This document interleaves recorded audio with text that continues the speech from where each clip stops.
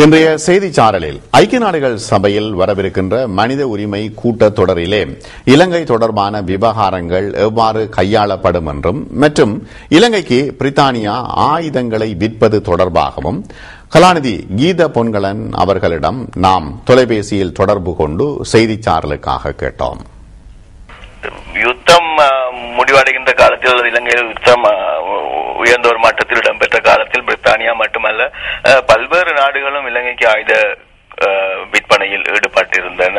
சீனா America போன்ற நாடுகளுமே கூட எங்கள் அது பிரச்சனைகள் பற்றி கவனத்தில் கொள்ளாமல் இலங்கை அரசாங்கத்துடன் ஒத்துழைத்தமை தெளிவான ஒரு விடயம். இப்பொழுது மனித உரிமை பிரச்சனை என்று வருகின்ற போது அஹ், அவர்கள் அஹ், இரண்டு அஹ், பக்கமாக நடந்து கொள்ளுகிறார்கள் அல்லது பக்கச்சார்பாக நடந்து கொள்ளுகின்றார்கள் என்கின்ற ஒரு குற்றச்சாட்டு முன்வைப்பதற்கான ஒரு சாத்தியம் காணப்படுகின்றது ஆனால் இது ரெண்டும் வேறுபட்ட விடயங்கள் என்று நான் கருதுகின்றேன் இப்ப சர்வதேச ரீதியாக மனித உரிமை மீறல்கள் நடைபெறும் இடத்திற்கும் ஆயுத வியாபாரம் இடம்பெறும் என்பதற்கு இது ஒரு உதாரணமாக கொள்ளலாமா?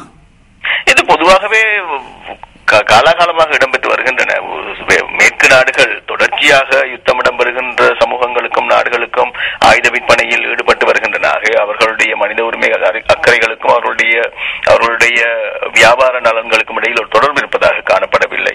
மாறாக சர்வதேச ரீதியாக ஒரு குறி சமூகத்துக்கு அல்லது ஒரு குறிப்பிட்ட நாட்டுக்கு எதிராக ஒரு தடை கொண்டு வரப்படுமாக இருந்தால் அதன் பின்னர் அஹ், அதன் பின்னர் அந்த நாடுகளுக்கு ஆயுத விற்பனையில் ஈடுபடுவதை அஹ், மேற்கு நாடுகள் விலக்கிக் கொள்ளப்படும் கூடும் அஹ், சீனா போன்ற நாடுகள் அ- அத்தகைய தருணத்தில் கூட அது பற்றி கவலைப்படக்கூடிய ஒரு சாத்தியம் இருப்பதாக நான் நினைக்கவில்லை. அதற்கு முன்னதாக சர்வதேச ரீதியாக ஒரு தடை இல்லாத பட்சத்தில் பெரும்பாலான மேற்கு நாடுகள் தாராளமாக மனித உரிமை பிரச்சனையை பற்றி கவலைப்படாமல் ஆயுத விற்பனையில் ஈடுபடுவது சாதாரண ஒரு விடயம் இது எதிர்காலத்திலும் தொடரும் என்று நினைக்கின்றேன் இப்ப இலங்கையில் மனித உரிமை மீறல்கள் தொடர்பாக இப்பொழுது அதிகமாக பேசப்படுகின்ற ஒரு காலமாக இருக்கிறது.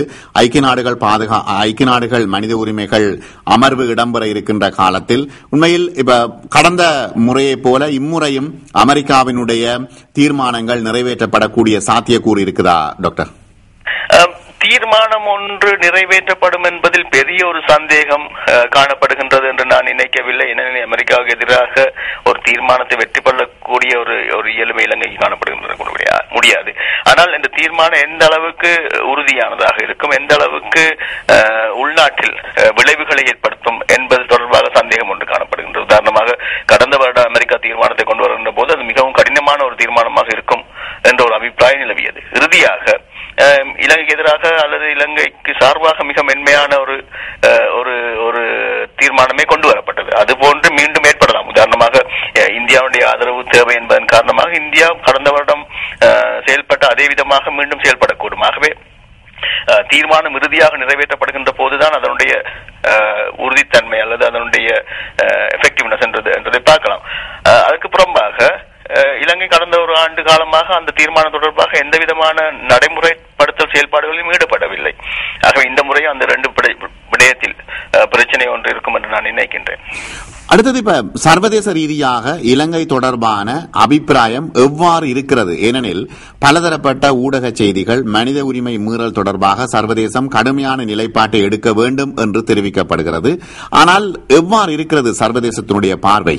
இது ரெண்டு விதமாக பார்க்கப்பட வேண்டும் என்று நான் நினைக்கின்றேன். ஒன்று அரசு மட்டத்திலான செயல்பாடுகள் மற்றது அரசு அல்லாத அஹ், நடவடிக்கைகள் என்று பார்க்கப்படும் அரசு மட்டத்திலான செயல்பாடுகள் என்று பார்க்கின்ற போது அரசுகளுக்கு இடையில் எப்பொழுதும் காணப்படுகின்ற ஒரு நல்ல உறவும் ஒரு விதமான புரிந்துணர்வும் இலங்கை தொடர்பாகவும் காணப்படுகின்றது. ஆகவே இது அரசு என்ற மட்டத்தில் இலங்கை அரசுக்கு எதிராக பாரிய ஒரு விமர்சனமோ அல்லது ஒரு ஒரு எதிர்ப்பு நடவடிக்கையோ காணப்படுகின்றது நான் நினைக்கவில்லை. உதாரணமாக காமன்வெல்த் நாடுகள் பொதுநலவாய நாடுகளுடைய நாடுகளுடைய உச்சி மாநாடு நடைபெறுகின்ற விடயம் தொடர்பாக பேசப்பட்டு வருகின்றது. ஆனால் இன்னும் அது தொடர்பாக அந்த அந்த அந்த அந்த மாநாடு இலங்கையில் நடைபெறாது என்ற விதமான ஒரு செயல்பாடு காணப்படவில்லை. ஒரு இரண்டு நாடுகள் விமர்சன ரீதியான கருத்துக்களை கொண்டிருக்கின்றன. ஐரோப்பிய நாடுகளினுடைய பார்வையில் இலங்கையினுடைய மனித உரிமை மீறல் விடயங்கள் அல்லது இலங்கை இனப்பிரச்சினை தொடர்பான விடயங்கள் எவ்வாறு பார்க்கப்படுகிறது? இலங்கை கடந்த கால செயல்பாடுகளை ஒட்டி இந்த நாடுகள் பெரிய ஒரு அக்கறை கொண்டிருப்பதாக நான் நினைக்கவில்லை. மாறாக எதிர்காலத்தில் அரசியல் ரீதியான இன நல்லிணக்கத்தை ஏற்படுத்தக்கூடிய சில செயல்பாடுகள் இலங்கை அரசாங்கம் ஏற்படுமா ஈடுபடுமாக இருந்தால் மிக மென்மையான மட்டத்தில் கூட இலங்கை அரசாங்கம் சில செயல்பாடுகளில் ஈடுபடுமாக இருந்தால் அதனை அது மேற்கு நாடுகளை அல்லது ஐரோப்பிய நாடுகளை இருக்கும் நான் நினைக்கின்றேன் நான் கூற வருகின்ற விடயம் என்னவெனில் இந்த நாடுகளிடமிருந்து இலங்கைக்கு எதிராக மிக கடுமையான செயல்பாடுகளை மிக விரைவாக நாம் எதிர்பார்த்து விட முடியாது. ஆனால் தற்பொழுது வலிமை மிக்க நாடுகளான சீனா ரஷ்யா போன்ற நாடுகள் மனித உரிமை அமைப்பினுடைய வாக்கு விடயங்களிலே தொடர்பு இல்லாமல் இருப்பதன் காரணத்தினால் இலங்கைக்கு எதிரான நடவடிக்கைகள் மேற்கொள்ளப்படக்கூடிய சாத்தியக்கூறு இருப்பதாக தெரிவிக்கப்படுகிறது. அது உண்மையா சாத்தியமா? இலங்கைக்கு எதிராக இல்ல இலங்கை தொடர்பாக ஒரு ஒரு ஒரு ஒரு பிரேரணை கொண்டு வரப்படும் என்பது எனக்கு பெரிய ஒரு சந்தேகம் காணப்படவில்லை. ஏனெனில் அதற்கு தேவையான வாக்குகள் காணப்படுகின்றன. ஆனால் இலங்கையை முழுமையாக பாதிக்கக்கூடிய அதனை ஒரு ஒரு ஒரு ஒரு தண்டனைக்கு உட்படுத்தக்கூடிய ஒரு தீர்மானம் கொண்டு வரக்கூடிய விருப்பமோ மன வலிமையோ இருக்கின்றதா என்பது தொடர்பில் ஒரு சந்தேகம் காணப்படுகிறது அதன் காரணமாக இந்த தீர்மானம் எத்தகையது? அதனுடைய தாக்கம் எத்தது என்பதை பொறுத்திருந்து பார்க்க வேண்டிய ஒரு அவசியம் இருக்கின்றது. அடுத்த சேனல் போவினுடைய விவரணம் வெளிவர இருப்பதாக தெரிகிறது. அந்த விவரணம் இந்த மனித உரிமை மகாநாட்டில் ஏதாவது தாக்கத்தை ஏற்படுத்தக்கூடியதாக இருக்குமா? நிச்சயமாக உளவியல் ரீதியான ஒரு தாக்கத்தை ஏற்படுத்தும் காட்டப்படுகின்ற வன்முறைகள் மனித உரிமை மீறல்கள் போன்றவை ஒரு விதமான உளவியல் தாக்கத்தை ஏற்படுத்தக்கூடியதாக இருக்கும். ஆனால் கடந்த காலங்களில் அந்த தாக்கம் செயல்பாட்டு ரீதியானதாக பாரிய அளவுக்கு மாறி இருந்தது என்று கூற முடியாது. ஒரு சில மாற்றங்கள் ஏற்பட்டன உதாரணமாக இலங்கைக்கு இலங்கை தொடர்பாக தீர்மானம் கொண்டு வரப்படுகின்ற முதலாவது சந்தர்ப்பத்தில் இலங்கைக்கு எதிரான தீர்மானம் என்று கொண்டு செல்லப்பட்டு அது வெளிவருகின்ற போது இலங்கையை பாராட்டுகின்ற ஒரு தீர்மானமாக அது வெளிவந்திருந்தது. முதலாவது தடவையாக. இரண்டாயிரத்தி அஹ், ஒன்பதாம் ஆண்டு அல்லது இரண்டாயிரத்தி பத்தாம் ஆண்டாக இருக்க- இருந்திருக்க வேண்டும். ஐக்கிய நாடுகள் சபையில். ஆனால் கடந்த ஆண்டு ஒரு தீர்மானம் கொண்டு வரப்பட்டது. அதில் இந்த விதமான சேனல் வும் அது தொடர்பான அல்லது அது மாதிரியான ஏனைய செயல்பாடுகளிலிருந்தும் தாக்கம் ஒன்று இருந்தது என்று கூறலாம். அது அமெரிக்காவின் சல்ஸ்பரி பல்கலைக்கழகத்தைச் சேர்ந்த பேராசிரியர் கீத பொன்களினுடைய கருத்துக்கள்.